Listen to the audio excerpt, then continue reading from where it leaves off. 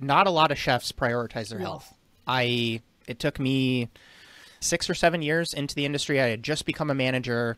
I was at a point where I wasn't straining myself on the line physically mm-hmm. every single day.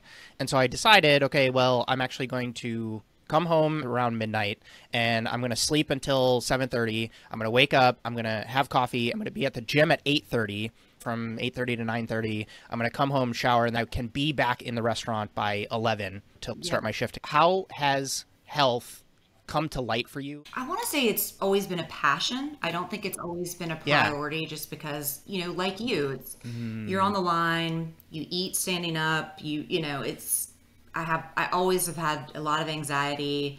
It's hard when you're working like a 12-hour shift to to prioritize anything. But I think what kind of clicked for me is when I lost my dad. He you know, he was older and it was it was he had a heart condition. I remember like like his last years in life he just he wasn't exercising.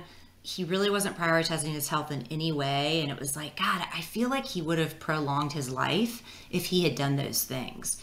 And that's like really when things started to click for me. And then i think covid you start to realize oh my gosh like you have this amazing body that can repair itself. So we got to take care of it.